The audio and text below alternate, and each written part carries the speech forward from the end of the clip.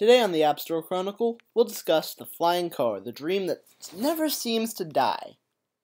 Anyways, the flying car has been, the idea for it has been around for 70 years, but we really haven't done anything to change that idea. So the flying cars that emerge today are basically airplanes that can drive on a road by folding up the wings.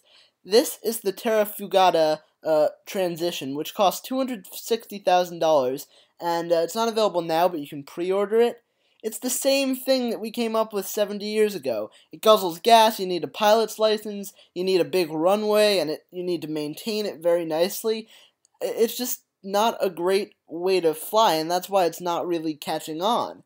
Now, the new flying car, and the thing that is really going to catch on within a, a, a relatively short period of time, like a decade is not that long, given how long this dream has been alive, we're going to talk about that in our article. We're going to talk about when you're going to see this new flying car, how much it's going to cost, how it's going to work, and why it's so possible to build today, and why we couldn't have done this a decade ago or two decades ago. What technology has made this so such a possibility?